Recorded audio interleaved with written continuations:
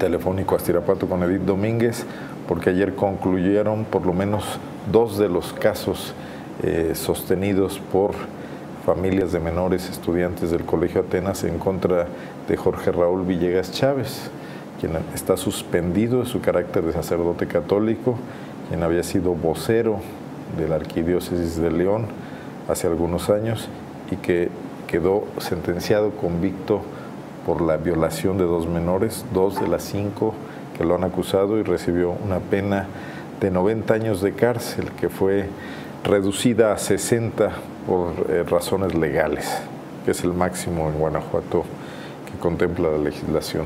Edith, ¿cómo estás? Buenas tardes. Hola, ¿qué tal? ¿Cómo estás? Muy buenas tardes. Bueno, pues por fin un caso en que se hace justicia, Edith.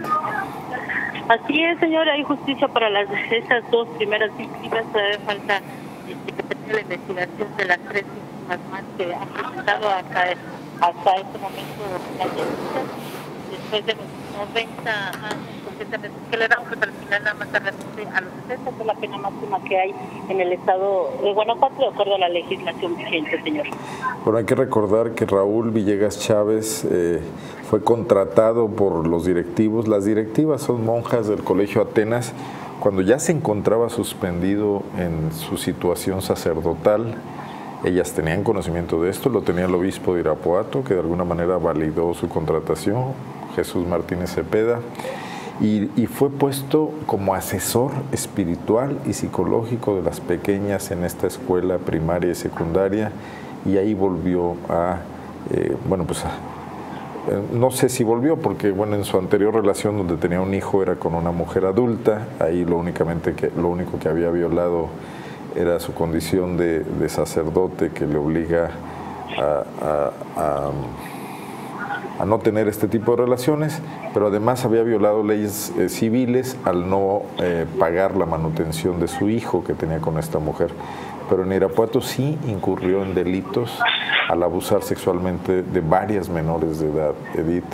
Así es, después de que se da a conocer este, la prueba de paternidad que al final resulta positiva, este, se supone que la Iglesia Católica o la Arquidiócesis de León este, lo había inhabilitado sin embargo, después de estar en la casa Alberioni allá en Guadalajara, donde conocida como donde se van este, o mandan a los padres pedrazas, es que después ahí se presume, o de acuerdo a los algunos feligreses, ustedes recordarán, este, que Zona Franca estuvo sacando un reportaje donde los feligreses este, testificaron que se conoció el padre Moisés Cobas Torres, él es el sacerdote o era sacerdote a cargo del templo de San Cayetano, donde se conocieron en esta casa Alberioni y cuando lo invita al municipio de Irapuato, aquí a la al, templo de San Cayetano, donde incluso él oficia, oficia algunas misas, incluso ofició alguna una misa con este el, el, obispo de aquel entonces José Jesús Martínez Cepeda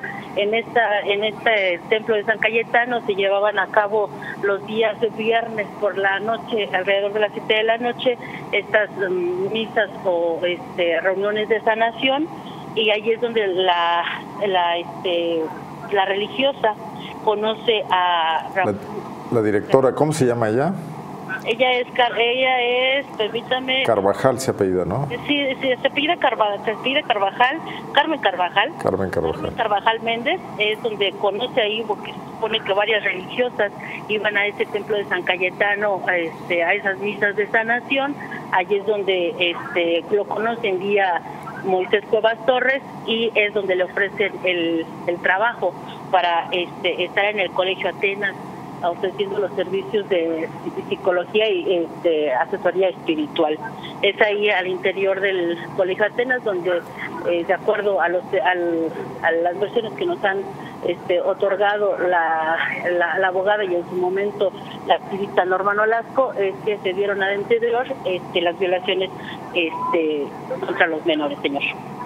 Bueno, ¿y tienes, tienes algunas eh, declaraciones tanto de la abogada irapuatense como de la activista leonesa, donde, bueno, sobre todo enfatizan que va a continuar, ¿no? Que va a continuar ellas eh, en este caso con el resto de las acusaciones, pero además llevándolo a otras instancias, incluso a la justicia federal. Sí, ustedes recordarán que nosotros dimos también a conocer que en la PGR ellos presentaron una denuncia por pedrastilla, este, ellos la van a seguir todavía y, el, y, en la, y en Roma, en el Vaticano, pues también ellas pretenden seguir con esta denuncia para que no nada más solamente quede con las autoridades del Estado de Guanajuato, sino también al interior del clero. Escuchamos algunos de los insertos que tienes, ¿te parece? Claro que sí. Supuesto que vamos a continuar hasta que todas y cada una de las personas que por omisión, que por este, abandono, que por subsecuencia tuvieron algo que ver con estos delitos, vamos a continuar con el proceso y no vamos a parar hasta que todas las personas culpables sean castigadas. En este caso sería el, obispo, el obispo de Jesús José. La Iglesia Católica. La Iglesia Católica. Sí, También ya es un, proceso diverso, es decir, ante una instancia civil, ya serían otro tipo de tribunales los que se. Sí, eh, también hago la aclaración, si hubo una sanción por parte de la Secretaría de Educación del Estado en contra de, ya en contra del Colegio Atenas. Sí. Y el caso de la PGR, donde había también Ah, sí, se le vamos a dar impulso porque la prioridad primero era esto, ahora este estaríamos también presionando a las instancias federales para que se aboquen a pues a la investigación, incluso fuimos citadas ante FEBINTRA en, a nivel federal y, pues sigue un proceso. Lamentablemente ha sido en, en, en, materia federal lento en virtud de que pues se tiene la mentalidad que es un delito de, del orden común, pero pues eso ya trataríamos nosotros de impugnarlo en la federación. Pero ya también esta sentencia nos va a permitir... Bueno, Edith, eh, ¿alguna postura del colegio? Esta sanción a la que hacen referencia la Secretaría de Educación fue una sanción muy leve, ¿no? Sí, casi irrisoria, era, si no recuerdo, era un poco más de 50 mil pesos, pero lo que es. De, multa a un colegio privado que debe cobrar colegiaturas muy altas, pues digo, no, no, no ofrece ni ninguna reparación y además tampoco les, les causa ningún problema pagarlo a estas monjas. ¿De quién es propiedad del colegio? Eh, sí desconozco, quién Ahí no sabemos. Lo administran religiosas, pero... estaba a cargo la religiosa Carmen Carvajal. Colegio Atenas, ¿verdad? En Irapuato. Bueno. Edith, ¿algo más que agregar sobre este caso? Sí, solamente comentarles que hace algunas horas la diócesis de Irapuato, a cargo del obispo Enrique Díaz Díaz, eh, por medio de un comunicado, es que pide perdón a las víctimas este, del sacerdote Jorge Raúl Villegas, eh, después de que se da a conocer esta sentencia de los 60 años la pena máxima en el estado de Guanajuato, y pues pide perdón a las víctimas, este, y también algo que destacar es que dice que eh, tomarán las medidas preventivas para que nunca ocurra nada similar. Sin embargo, pues no, no, especifican un poquito más. Me, parece un poco tardío esperar hasta que ocurra la sentencia porque pues, el, perdón pudo haberse pedido desde antes, había suficientes evidencias de que habían ocurrido las cosas eh, de una forma lesiva de los derechos de estas personas, las afectaron totalmente y el obispo se espera hasta que ocurra una sentencia de 60 años, creo que ya no vale tanto esta petición de perdón. Pero bueno, menos mal, ¿eh? porque hay mucha soberbia también de pronto de parte de los jerarcas católicos. Sí, y habría que ver realmente cuáles son esas restricciones que podrían estar realizadas. Que sería lo relevante, que nos expliquen cuáles son, ¿no?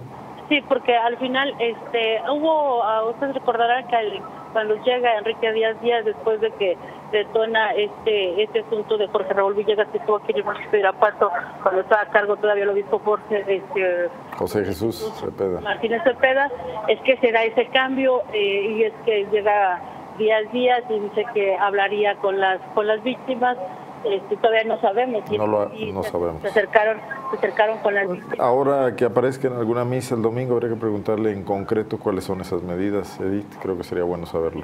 Sí, y habría que ver si realmente.